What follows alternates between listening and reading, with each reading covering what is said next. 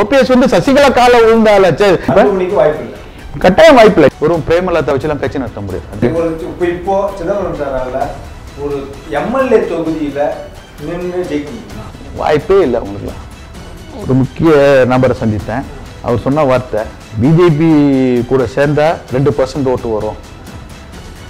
ஆனால் பத்து பர்சன்ட் ஓட்டு மைனஸ் ஆயிருன்னு சொன்ன வார்த்தை இது.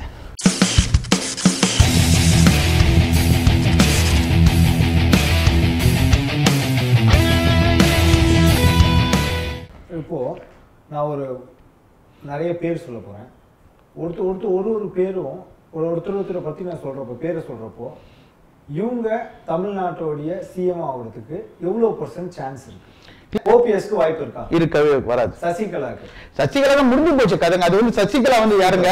நான் சொல்லுங்க. வந்து டெல்லியில் டாண்டன் ஒரு டாக்டர் வந்தாரு. சீஃப் செக்ரட்டரி எல்லாரும் வச்சு டிசம்பர் மூணு கேட்டாராம். ஹூஸ் த சோஷியல் கேட் கீப்பர்னு கேட்டாராம். சசிகலாவை பார்த்து. ஸோ வீட்டில் வந்து அவங்க வந்து ஒரு அந்த அம்மா வந்து ஒரு அந்த ஜெயலலிதா அந்த லேடிக்கு எப்படி நித்யான் இருப்பார் கலைஞருக்கு. இங்க கலைஞருக்கு ஒரு சாப்பாடு ஊட்டுறது துணியை மாற்றி கொடுக்கறதுக்கு. எங்க? மருந்து கொடுக்கறதுக்கு வீட்டில் வச்சுக்காங்க. யாரு. கோபாலபுரத்தில் நித்யா. நித்யா கலைஞருக்கு பண்ற மாதிரி தான் தோட்டத்தில் வந்து சரி தினகரன். ரசிகலா. யாருக்கு? தினகரனுக்கு வாய்ப்பு. தினகரன்லாம் வாய்ப்பு இல்லை. ம், சுத்தமா கிடையாது. ஓபிஎஸ்க்கு வாய்ப்பு. ஓபிஎஸ் தான் இல்லவே இல்லைன்னு சொல்லிட்டாங்க ஓபிஎஸ் வந்து சசிகலா கால விழுந்தாலாச்சு தினகரனுக்கே வாய்ப்பு இல்லாம திருப்பி அவங்க இவங்களால உருவாக்கப்பட்ட ஆள் தான் நாங்க ஒரு. தனிப்பட்ட முறையில் இங்க ப்ரூவ் பண்ணிருக்காரு சீமானுக்கு. யாருக்கு? சீமான். சீமான் எங்க? அவர் வந்து அவர் வந்து ஒரு இலங்கை பிரச்சனை தாண்டி இவர் பேச எப்படி அவங்களுக்குலாம் வந்து? வாய்ப்பே இல்லை அவங்களுக்குலாம் அன்புமணி ராமதாஸ். அன்புமணி ராமதாஸ் பல்வேறு இதில் நான் வந்து நல்லா பேசுறாரு. நல்லா வந்து அவரோட ஆர்குமெண்ட்லாம் வைக்கிறார் அன்புமணி. இல்லைன்னு சொல்ல முடியும். ஆனால் நானும் சொன்னேன் அவரோட ஸ்கீம் வந்து ஒன் நாட் எயிட் அவர் ஸ்கீம் எப்படி ஒன் நாட் அவர் ஸ்கீம் சொல்ல முடியும்? ஹெல்த் மினிஸ்டரா இருந்தார். எந்த கவர்மெண்ட்ல அவரு ஆனா பிஎம்கே வந்து டாக்டர் ராம்தாஸ் பிரைம் மினிஸ்டர் இருந்தாரு. பிரைம் மினிஸ்டர் ஆஃப் இந்தியா யாருங்க? மன்மோகன் சிங்க. ஃபைனான்ஸ் மினிஸ்டர் பட்ஜெட் அலாட் பண்ணது யாரு? இவங்க ஸ்கீம்ஸுக்கு கேபினெட் அலாட் பண்ணது யார்? சிதம்பரம் தலைவர். இந்த ஸ்கீம்ஸ் வந்து பொலிட்டிக்கல் கிளியர்ஸ் கூட அன்னை சோனியா காந்தி. காங்கிரஸ் கவர்மெண்ட் போட்ட ஸ்கீம் அதுல வந்து இவர் வந்து ஒரு அமைச்சர் அவ்வளவுதான். அது எப்படி இண்டிவிஜுவலா நீங்க பண்ணணும்னு சொல்ல முடியும்? எந்த கவர்மெண்ட்ல பண்ணாக்க யூபிஏ பிரைம் மினிஸ்டர் நரசிம்ம ஒரு ஒரு மன்மோகன் சிங் நடந்த கவர்மெண்ட்ல அன்னை சோனியா காந்தி வழிகாட்டில் நடந்த கவர்மெண்ட்ல நிதியமைச்சர் சிதம்பரம் கொடுத்த ஃபண்ட்ஸில் அந்த அலாட் பண்ண இவங்க கிளியரன்ஸ்ல அப்ப ஹெல்த் மினிஸ்டரா இருந்தவர் கேபினெட் அப்ரூவல் வாங்கி பண்ணாரு. அதே எப்படி இவரோட இண்டிவிஜுவலோட சொல்லி சொல்ல முடியும் வாய்ப்பு இல்லை. கட்டாயம் வாய்ப்பு இல்லை. நீங்க வந்து இவர் வேணா எடுத்து வைக்கலாம். வந்து ப்ரொபோசல் அது ஓகே பண்ணது எல்லாருமே கேட்டு விசாரிச்சு பண்ணது. இப்ப வந்து எல்லா கிரெடிட்டும் கோட்டு அன்னை சோனியா காந்தி மன்மோகன் சிங் தானே இதுக்கு? காங்கிரஸ் ஒன்னு காங்கிரஸ் பண்ண கவர்மெண்ட் பண்ண ஸ்கீம் தானே இது? இண்டிவிஜுவலா இவர் வந்து தனியா வந்து நான் பண்ண நான் பண்ண நீ எப்படி பண்ண முடியும்? யார் வந்து அதுக்கு வந்து prime minister PMK prime minister இருந்தாங்க? கேபினெட்ல ஒன் வந்து நீ ஒன் ஆஃப் த கேபினெட்ல ஒன் ஆஃப் த ஆள் தான் நீங்க?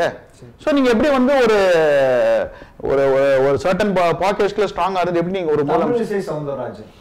அது வந்து அது பேரே நீங்க சொல்றதே தப்பு நீங்க. யாரு? அண்ணன் குமரி அந்தனோட காங்கிரஸ் கட்சியில வந்து இந்த வந்து அவங்க இதுல வந்து வளர்த்து வாழாக்கப்பட்ட ஆளு. ஸோ ஆனால் ஆனால் ரொம்ப மரியாதையானவங்க. அதில் பார்த்தா மரியாதையானவங்க. ஸோ அது அதுக்கு வந்து வாய்ப்பே இல்லை அவங்க. அவன் அது வந்து ஒரு ஒரு கட்சி தலைவரை செயல்பட விட மாட்டாங்க. எப்படி வந்து அவங்களாம் வந்து ஒரு இண்டிவிஜுவலாக ஜெயிச்சு வரணும்ல ப்ரூவ் பண்ணும்ல ஸோ அதெல்லாம் வாய்ப்பு இல்லை. பிஜேபி தமிழகத்துல பிஜேபிக்கு ஒரு எதிர்காலம் இருக்கா? இல்லைங்க அவர் ரொம்ப இப்பயே ரெண்டு பர்சன்ட் மூணு பர்சன்ட் மேலே இல்லை. சமீபத்தில் ஒரு முக்கியமான ஒரு ஆளுமைப்படுத்த ஒரு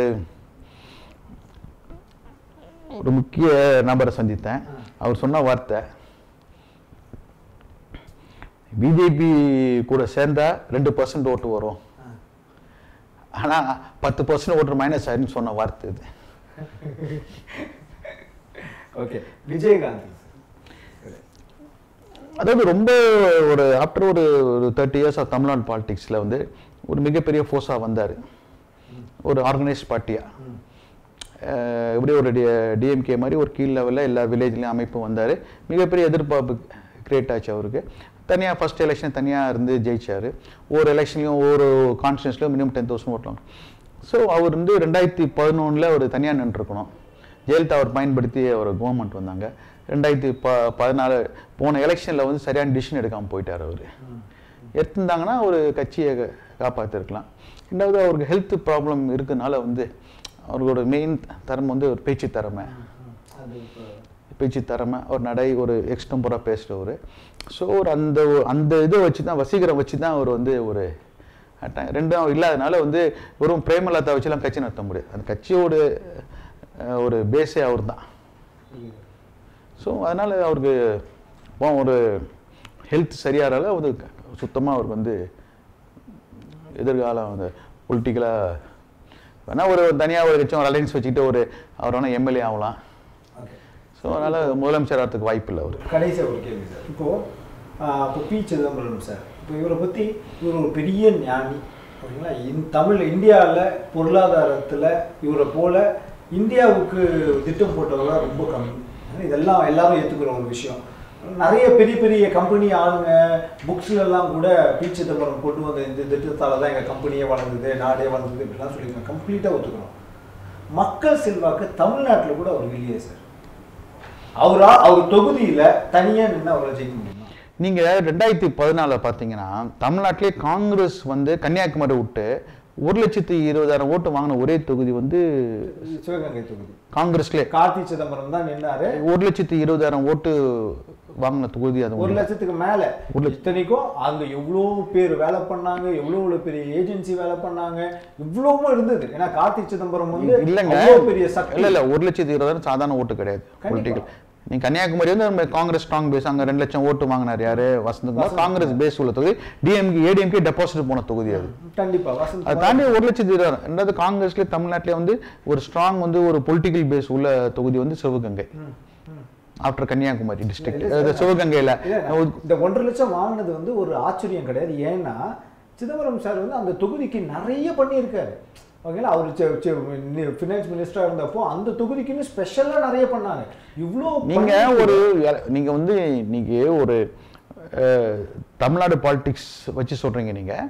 தமிழ்நாடு பாலிடிக்ஸ்ல வந்து அவருக்குன்னு வந்து ஒரு தமிழ்நாட்டுல வந்து அவர் மூப்பனா இருக்கிற வரைக்கும் அவர் விடல அவரை. ஸோ மூப்பனார் என்ன பண்ணிட்டாங்க? தமிழ்நாட்டில் அவர் லீடரானா டெல்லியில் ஸோ தமிழ்நாட்டிலேருந்து ஒரு டெல்லி ரெப்ரசன்டேட்டிவ் வந்து யாருக்குறா இன்னைக்கு? ஒரு கேபினட் மினிஸ்டரே இல்லை. இன்னைக்கு இந்தியா ஃபுல்லா இன்னைக்கு வந்து தெரிஞ்ச ஒரே ஃபிகர் தமிழ்நாட்டுல இருந்து யார் சொல்லுங்க இன்னைக்கு? நீ வேர்ல்டு பேங்க் சேர்மன் பேச ஒரு கெப்பாசிட்டி உள்ள யார் யாருங்க இன்னைக்கு வந்து ட்ரம்ப் போனா கூட பதிவு இல்லாட்டி கூட இல்ல இல்ல இல்ல இல்ல. நீங்க நீங்க மக்கள் வந்து. மக்கள் செல்வாக்கு எல்லாம் எப்படி ஒரு இவ்வளவு பெரிய நீங்க வந்து ஒரு அக்செப்ட் லீடர் வர முடியும்? நாளைக்கே பிரஸ் கொடுத்தாவே எல்லாம் ரெடியா இருக்காங்க போடுறதுக்கு. இன்னைக்கு எங்க நானே பல முறை அன்னைக்கு கூட ஏர்போர்ட்டுக்கு கூட ஃபிளைட்ல போயிருந்தேன். எல்லாம் செல்ஃபி எடுத்துக்கிறாங்க அவர் கூடங்க. மக்கள் சில அப்படி செல்ஃபி எடுத்துப்பாங்க அவர் கூட. எங்க போனாலும் போட்டோ இல்ல இல்ல நீங்க வந்து மக்கள் செல்வாக்கு இல்ல இல்ல எங்க ஏர்போர்ட்ல நிக்கிறாங்க ரயில்வே ஸ்டேஷன்ல உட்காராங்க கூட பேசுறாங்க. இன்னைக்கும் சில கருத்தை சொல்றாருங்க. ரெண்டு வார்த்தை தான் சொல்றாரு. எடுப்படுறதுல இல்ல, அவர் பேசுறதுலாம் ரொம்ப திறமையா மக்கள். சிம்பிள் மேனுங்க நீங்க வந்து சாதாரணமா வந்து ஒரு காரைக்குடில போய் பாருங்க நீங்க. சாதாரணமா தான் பார்க்கலாம். எதானமே வந்து நீங்க வந்து பெரிய வந்து கூட்ட இருபத்தஞ்சு பேர் ஐம்பது பேர் நூறு பேர் ஐநூறு பேர் ஆயிரம் பேர் இப்படி தான் அட்ரஸ் பண்ணுவார் பொதுமக்களுக்கு. ஜெயலலிதா மாதிரி வந்து ஒரு பத்து ஒரு சிவகங்கையில கூட்டத்தை போட்டா பத்து சவுத்துல இருக்க பத்து டிஸ்ட்ரிக்ட்ல இருந்து ஒவ்வொரு மாவட்ட சைடில் அஞ்சாயிரம் பேர் கூட்டு காசு அந்த மாதிரி கூட்டம் போட மாட்டாங்க. இல்லை பப்ளிக் அக்செப்டபிள் லீடர் இவங்களாம். எப்படி பப்ளிக்ல இல்லாம இத்தனை வருஷம் டெல்லியில வந்து இன்னைக்கு வந்து ஒரு மோடிக்கு சேலஞ்ச் பண்ற அளவுக்கு இன்னைக்கு வந்து கேள்வி கேட்கிற ஆள வந்து ஒரு காங்கிரஸ் கட்சியிலுக்கு ஒரு லீடர் வந்து ப்ரொஜெக்ட் பண்ண முடியுமா சொல்லுங்க நீங்க. நீங்க தமிழ்ல ஒரு ஒரு எந்த அளவுக்கு இங்கிலீஷ்ல பேசுறோம் அதே அளவுக்கு நீங்க வந்து நம்ம லாங்குவேஜ்ல பேசுற ஒரே ஆளு. கண்டிப்பா. அது மாதிரி அவரை மாதிரி யாச்சும் ரிட்டனாவது நோட் எழுத முடியுமா உங்களுக்கு? இல்ல தமிழ் ஆங்கிலத்துல வந்து தமிழையும் வந்து அதே மாதிரி வந்து எழுத முடியுமா சொல்லுங்க நீங்க? மிகப்பெரிய லெவல்ல லீடர் சிஸ்டமேட்டிக்கலா ஒர்க் பண்ற ஒரே லீடர் அவர் ஒருத்தர் தான் நீங்க ஒரு ஒரு- ஃபைனான்ஸ் மினிஸ்டர் அந்த ஒரு ஒரு ஹோம் மினிஸ்டர் அந்த ஒரு ஒரு பிரைம் மினிஸ்டரே ஒரு நீங்க வந்து ஒரு தகுதி உள்ள ஒரு கேண்டிடேட் எப்படி ஒரு தமிழ்நாட்டுல வந்து ஒரு ஒரு சீஃப் மினிஸ்டர் ஒரு ப்ரொஜெக்ஷன் இல்லாம இருக்கான் ஒரு பப்ளிக் செல்வாக்காம இத்தனை வருஷம் டெல்லி எப்படி ஆளுமை படைச்சிட்டு இருக்க முடியும்? இப்போ இப்போ சிதம்பரம் சாரால ஒரு எம்எல்ஏ தொகுதியில நின்னு ஜெயிக்க முடியுமா? ஒரு கா ஒரு தனியா நம்ம அது மட்டும் பேசுவோம். தான் தொகுதியில நின்ன தொகுதியில நின்னா கட்டாயம் ஜெயிப்பாரு அவர். சார் உண்மையாக தான் சொல்றீங்களா? தனியா நின்று காங்கிரஸ் ஒரு சீட்ல ஆமாங்க. கே. ராமசாமி இப்போ தொகுதியில் அவர் ஜெயிக்கலையாப்பா இருபத்தொம்பது சீட் ஜெயிச்சாங்க தனியாக இருந்த காங்கிரஸில். சாரி நைன்டீன் எயிட்டி நைனில் இருபத்தி ஏழு சீட் ஜெயிச்சாங்க அவர் தலைவர் மூப்பனார் தலைமையில். கட்டாயம் ஜெயிப்போம். என்ன ஆகுது? இப்போ அவர் வந்து ஒரு இரநூத்தம்பது பூத்து தானுங்க. இரநூத்தம்பது பூத்தில் அந்த சிவகங்கை தொகுதியில் ஒரு கான்ஸ்டன்ட் கட்டாயம் வின் பண்ணுவார் அவர். எப்படி நீங்க வந்து வின் பண்ண முடியாது? அவர் நின்று தோத்தாருன்னு சொல்ல நீங்க எம் எம்பி வேற. எம்எல்ஏ வந்து கட்டாயம் ஒரு கான்ஸ்டன்ட்ல ஒரு சிஎம் கேண்டிடேட் ப்ரொஜெக்ட் பண்ண கட்டாயம் நின்னு ஜெயிப்பாரு ரெண்டாயிரத்தி ஒன்பதுல கூட காங்கிரஸ் வந்து அவ்வளோ பெரிய மெஜாரிட்டி எடுக்கிறப்போ கூட சிவகங்கையில இழுப்புரியில தான் ஜெயிக்கிறாரு சிதம்பரம். ஏங்க நீங்க வந்து அண்ணா நகர் எலெக்ஷன்ல கூட கலைஞர் கூட ஆயிரம் ஓட்டு தான் ஜெயிச்சாருன்னு சொல்றாங்க அது வந்து நான் வந்து அஹ், வந்து இல்லைன்னு சொல்ல முடியுமா? நீங்க அது வந்து ஒரு இல்ல இல்ல. நீங்க சொல்ற. ஆனா அந்த எலெக்ஷன்ல தமிழகம் முழுவதும் திமுக தோக்குது கருணாநிதி மட்டும் தான் ஜெயிக்கிறாரு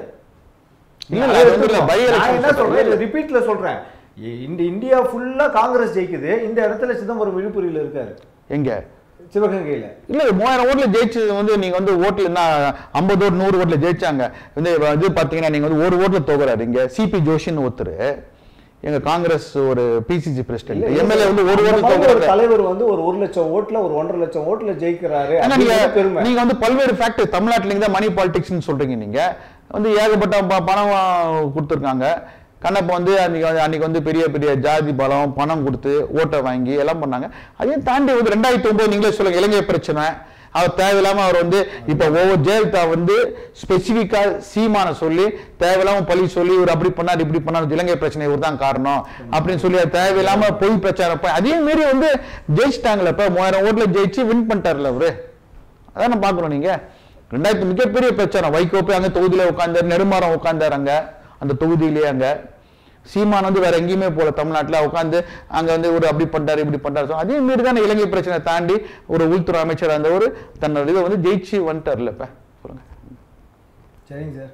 Thanks for your time sir இவ்வளோ ஓப்பனாக இவ்வளோ ஸ்ட்ராங்காக இவ்வளோ டைரெக்டாக ஐ திங்க் இன்னைக்கு அரசியலில் உங்களை விட்டால் பே பேசுகிறதுக்கு வேறு யாரும் இல்லைன்னு நினைக்கிறேன். நிறைய பேர் அவாய்டு இந்த இந்த மாதிரி கொஷின் கேட்காதீங்க அப்படின்னு சொல்லுவாங்க. ஆனால் நீங்கள் வந்து நாங்கள் வரதுக்கு முன்னாடி எங்ககிட்ட நீங்கள் ஒரு விஷயம் சொன்னீங்க. எந்த கொஷினாக இருந்தாலும் என்கிட்ட காட்டக்கூட வேண்டாம் அப்படியே கேளுங்க நீங்கள் இந்த மாதிரி தைரியம் இந்த மாதிரி ஓப்பன்னஸ் அரசியல் தலைவர்கள்லாம் இருந்ததுன்னா தமிழ்நாட்டில் அரசியலில் ஒரு பெரிய மாற்றம் வரோன்றது இளைஞர்களுக்கு ஒரு பெரிய நம்பிக்கை. நீங்கள் வந்து அரசியலில் ஒரு பெரிய லெவலில் வரணும் அப்படின்றது எங்களுடைய எண்ணம். நன்றி சார். நன்றி.